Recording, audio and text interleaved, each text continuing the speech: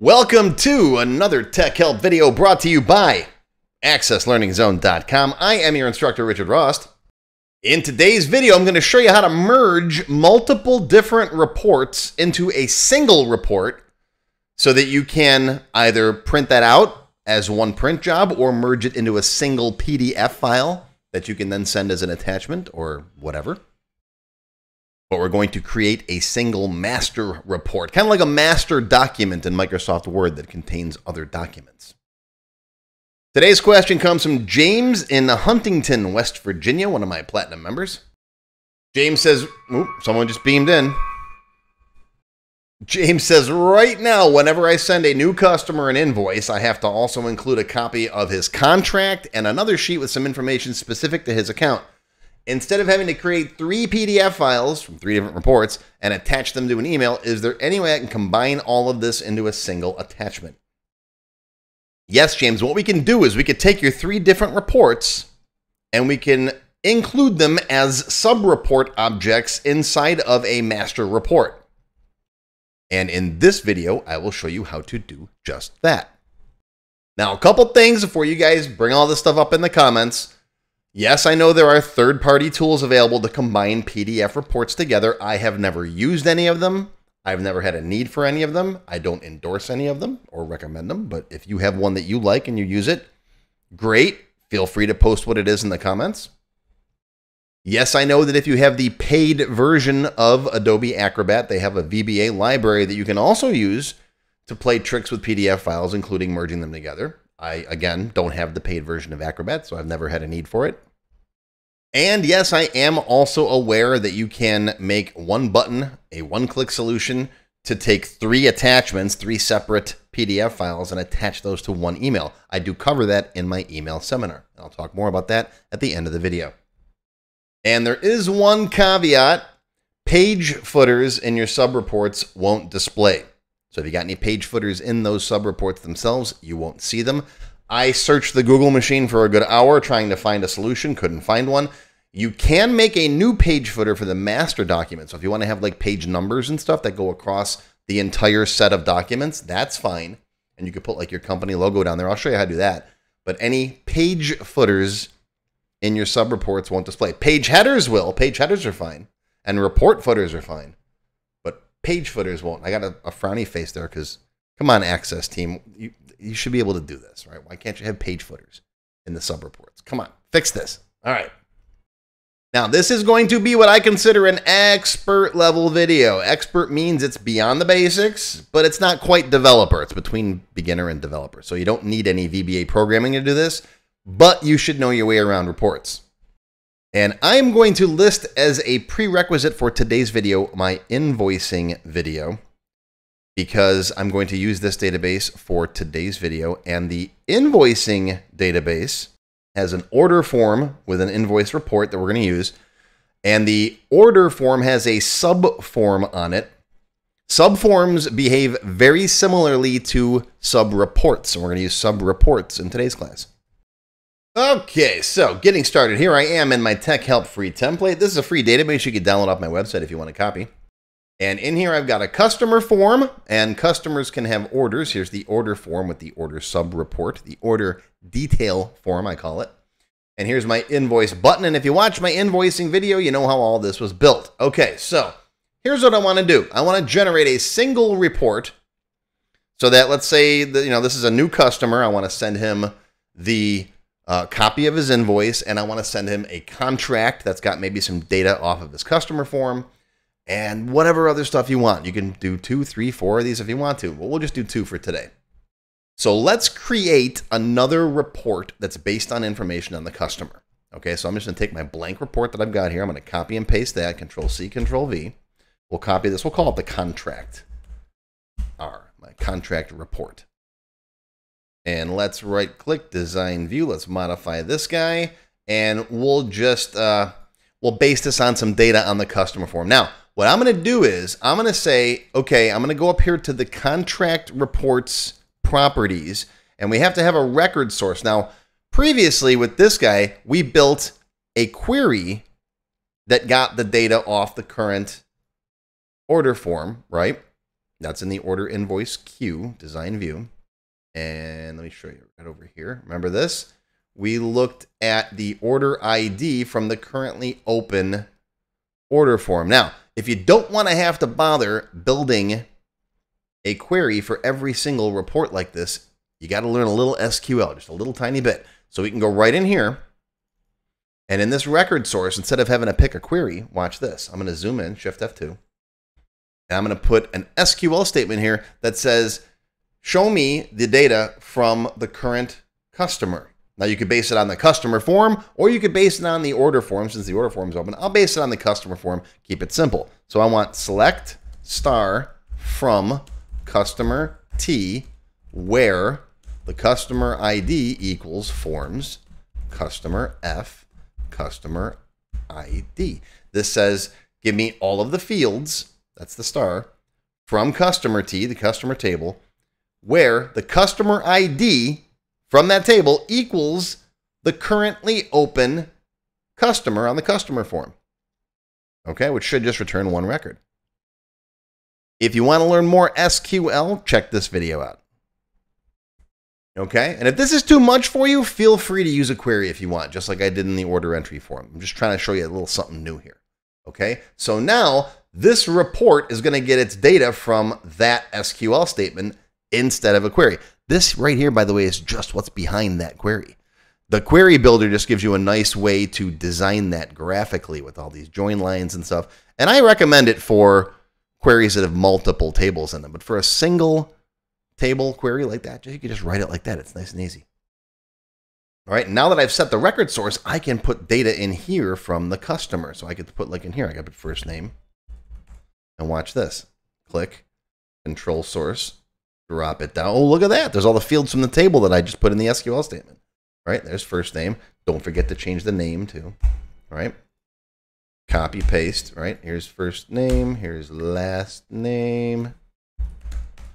All right, change this to last name. Copy paste. Okay, you get the point, right? This is the contract. And in fact, up here in the page header, page header, not report header, page header, because I'm going to show you that page header problem later. All right, I'm going to put copy, paste. I'm going to copy and paste that label up here, and we're going to make this a real big contract. Right, contract. This is the this is the user's contract, and we'll go to format, and we'll make this really big, like uh, 48 point. That's too big. Go 36 point. there we go, and maybe hold it, and let's change the font. Go. There's my contract. Okay, and just to show you the page footer, copy paste. I'm going to stick this down here in the page footer, just just to show you. And this drove me nuts. I was searching for a long time. Uh, this is the page footer. Okay, save it, close it. All right, here's our contract R. If I open this up in print preview mode, you can see there we go. It's just got Richard Rost in it, and there should only be one record. Yep, page one of one right down here. There we go. All right. So whatever open customer is on this form now, Jean-Luc Picard, for example, if I open up the contract R in print preview mode, there's Jean-Luc. Okay. Now, obviously, you want to have the same customer open as you have your invoice open for. And there's ways you can prevent the user from going back here. You can make this guy modal, right, which prevents them from changing the customer that's open. Or, like I said, you could get that customer ID from this combo box right here. Either one. But now what I want to do is whenever I generate this invoice, okay, I want to also generate that contract for the open customer. So I'm going to have these both of these things open together. So it's going to have that as page 1 and then it's going to have their invoice as page 2 in the same report. Okay, so we're going to make each one of these a sub report inside of a third master report that we don't have yet. We're going to make it right now. So let's copy the blank again, copy, paste, control C, control V. We'll make this the, um, the let's call it the master R. Whatever you want to call it. Contract with order, I don't care. All right, right click, design view. Here we are. Now, this guy, we can delete that and we can get rid of all these sections up here. Just make their, just shrink them up to nothing. We're going to deal with them in a All right, we just want to deal with the page, or excuse me, the detail section right now. Now, one thing to note, keep in mind when I set up this blank report, I set up the margins and I set up the width to be exactly what I wanted, right? I got a quarter inch margins around the page, right? I got a quarter inch margin. So it's an eight and a half by 11 sheet of paper. So eight and a half minus a half an inch in margins. I'm just shy of that eight inch mark. So that's the perfect width. Okay. So be careful because what we're going to do is we're going to bring these into the detail section. Watch this. Let's put the contract in first. Click, drag, drop. Now, when you do that, it pushes that right edge out. And you can see the little green thing there pop up. If you click there, you get the little warning, right? Okay, the report width is greater than the page width. All right, all you got to do is first delete the label because sub reports and sub forms come in with a label, which I kind of think dumb, but that's okay. Delete that guy. Then take the sub report object and slide it all the way to the left. Now bring that right side in and that little warning goes away because this guy is exactly the width that I want too. Okay? Okay, so there's the contract. Now let's bring in the order invoice R. Click, drag, drop. Same thing's going to happen. All right, get rid of that label. And you might not want to see this whole thing, so you could find the bottom of it down here. And let's find where's the bottom. There it is. You can drag that up because we're going to make sure that these can grow and shrink in a minute. Okay. And then, same thing, take this guy, slide it to the left. Leave a little gap there. I'll tell you why in a minute. Leave a little gap and then bring this again to the left. There we go. Okay, so we got both of our objects in there. Save it. Let's close it and do a print preview. So master R, right click, print preview. I know it's down on the bottom. You guys know you're expert users now at this point, right? It's print previews down here. My my my recording window is smaller than my giant desktop monitor, so I'm just gonna go to print preview. You know what I'm doing. Okay. If you've watched any of my beginner lessons, I've explained all this. All right, so there we go. Looks pretty good so far. Couple things. First of all, they're together on the same page, right? Here's the contract and here's the invoice. I want them to be on separate pages because presumably this contract it's going to have more stuff in here, right? You're going to have paragraphs worth of stuff, your contract text. I'm just doing this just as a simple example, right? So let's figure out a way to put the invoice on page two. All right, so design view. Now, as you might be aware of, if you add grouping and stuff like that, there's ways to force pages after sections. All you need for this is a little control. Go to Report Design, look in your toolbox. This little guy right there is called a page break control, right? Click on that and then just click right here between those guys and boop, there it is. See that? That little thing? If you click off it, it looks like a bunch of dots right there. See it? Right there. That is a page break control. Wherever Access sees that, it's going to throw a new page in there. Okay? All right. Easy enough. And now, if I do a print preview, I got print preview on my menu here, don't I? Where is that print preview? Yeah, right there. I, I have it on my quick launch toolbar. All right, there we go. We got that. There's page one. And come here. Come to Papa. Where are you? Okay, there it is. Page one, page two. Looks good. Beautiful. All right. Next thing, uh, this dumb border that goes around the sub report. Let's get rid of that. That is going to be a property of the sub report control itself. All right, so click on that one, shift, click on that one. Now I've got both sub report controls selected. Now I can go to format, shape outline, transparent, save it, print preview, looking better. Okay, looks good, looks good. Another thing I like to do is in this detail section, I want to make sure that can grow and can shrink are both set to yes in case, for example, the contract is blank, right? Uh, you can also do the same thing with these guys.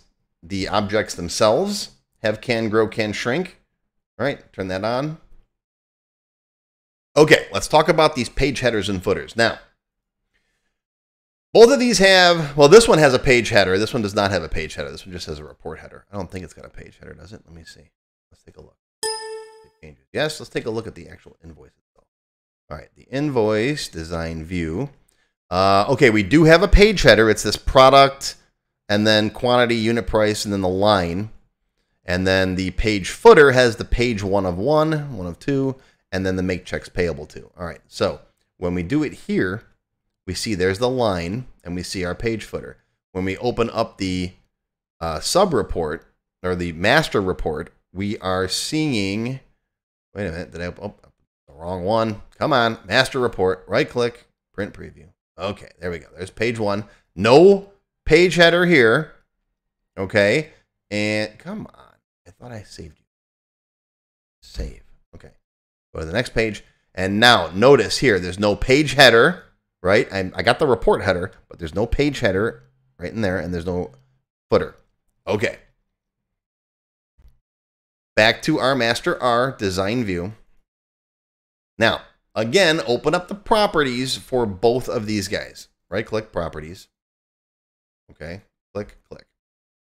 Down here, there's a property that says show page header and page footer. Turn that to yes. Now, like I said, I messed with this for a good hour. I searched the Google machine. I looked at all my books that are on my shelves, and I got lots of them. I looked through Microsoft's documentation on their website, which is, yeah. Um, I can get the page header to display. Good luck getting the page footer to display. So, Access Team, I implore you, do one of two things.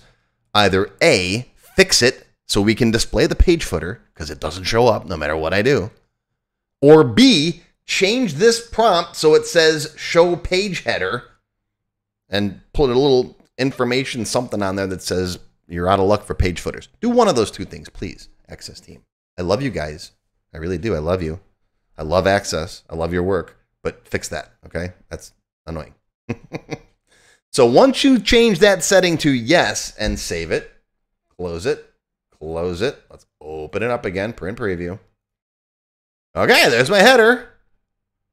And again, it's not saving the report's positioning. It's another one of my pet peeves. Okay, but there's no footer down here. So we got our page header. We got no page footer. Page header, right there. There it is. There's the page header. No page footer. And something, I just got a message from some. I've been getting weird spam lately on my phone. Uh, usually I, I mute my phone when I make a video, but I forgot to today. So sorry about that. In fact, one thing you'll notice is that the page footer is completely ignored, even in the code. Now, this isn't a, a, programming video, but I just want to show for those of you who do know a little bit of VBA. If you go into, let's go into the contract here, design view. Okay. If you go into the page footer, right click and go into build event, this is the VBA code that runs when this section gets basically drawn. Okay. And you can say message box hi right in there. That'll pop up a message. Save it, right? Close it, close it. And if I print preview this now, watch this, print preview. There's my hi. And where are you? Oh, come here. I hate it. There's my page footer right down there. See it? Okay. But watch this. If I open up the master R, print preview, I don't even get my hi. So it just ignores that section completely. Whatever code's in there, anything. Okay. But that's okay. Now that we know that, we can work around it. Let me uh, let me take that out of there real quick. I don't want that. Oop, wrong one. We don't want that code in there. Design view. Give me my code, and we'll just delete. Okay. Now, if you want like a page number and a footer, that's fine, but it's going to go across your entire master document.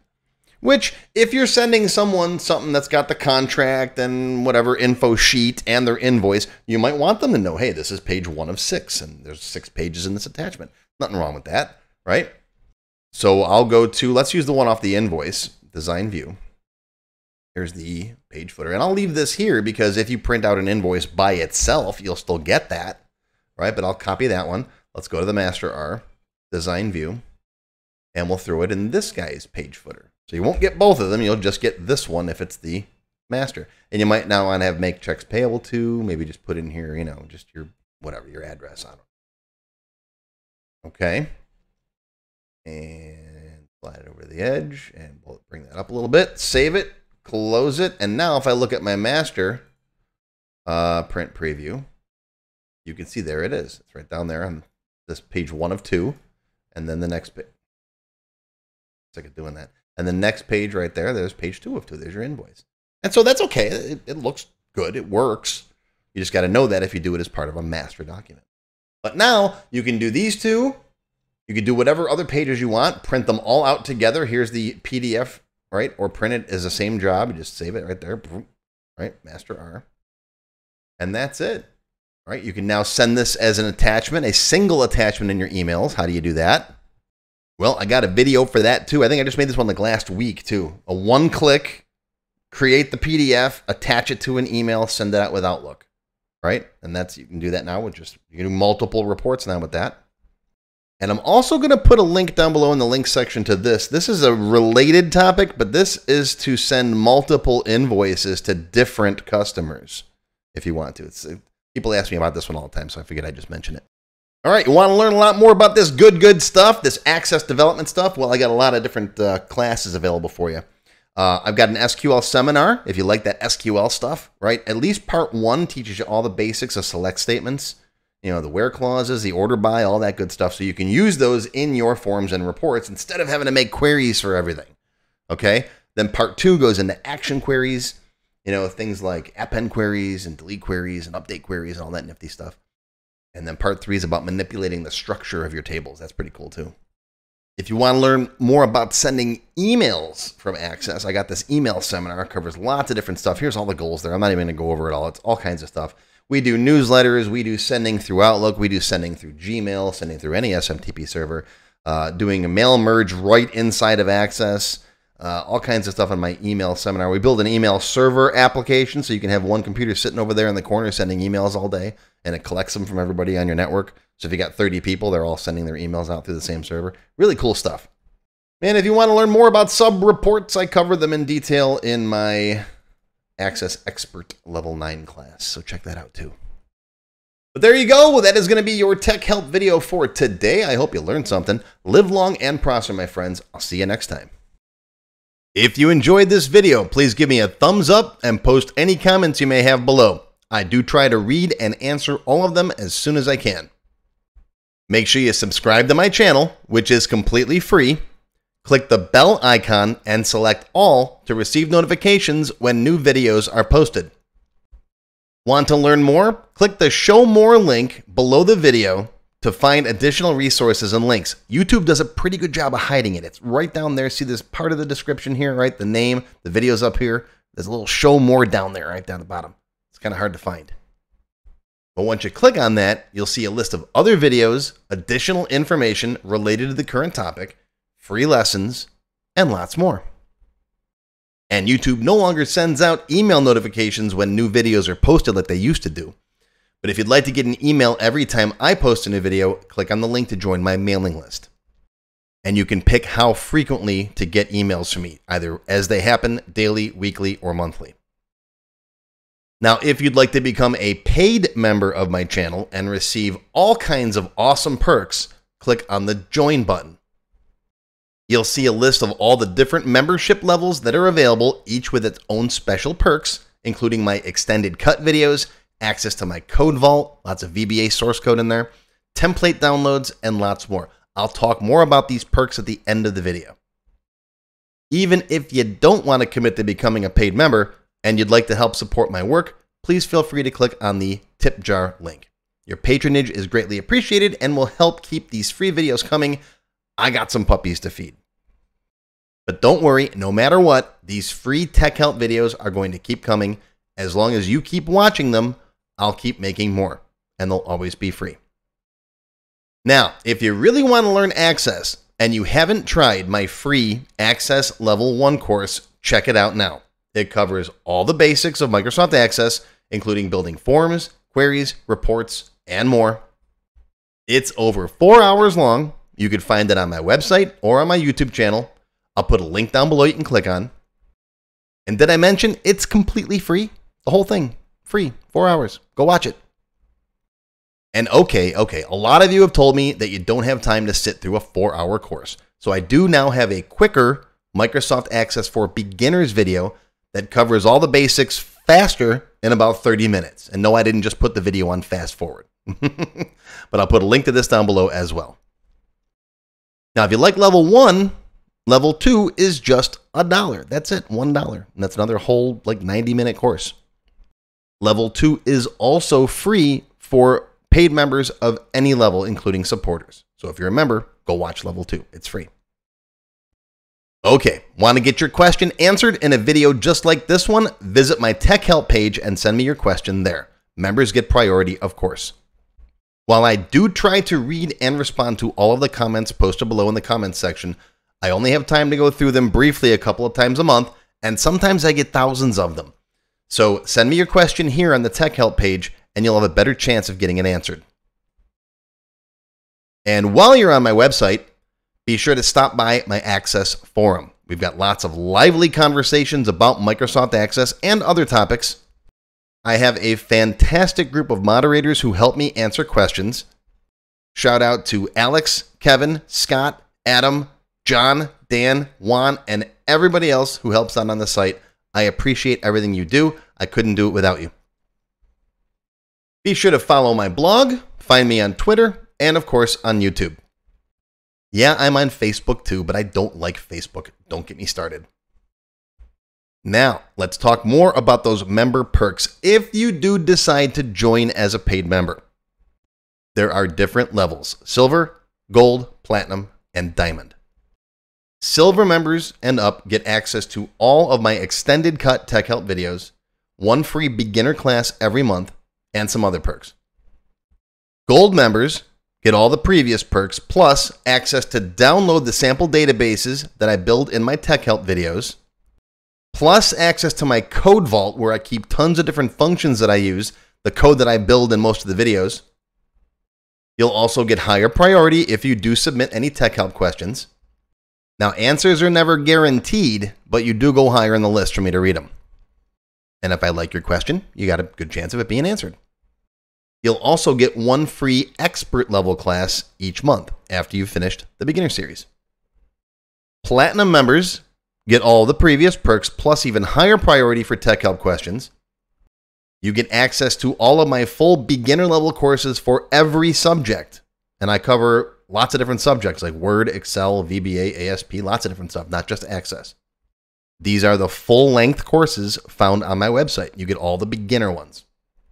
In addition, once you finish the expert classes, you get one free developer class per month. So lots of training. And finally, you can also become a diamond sponsor. You'll have your name or your company name listed on a sponsors page that will be shown on each video as long as you're a sponsor. You'll get a shout out in the video and a link to your website or product in the text below the video and on my website. So that's it. Once again, my name is Richard Rost.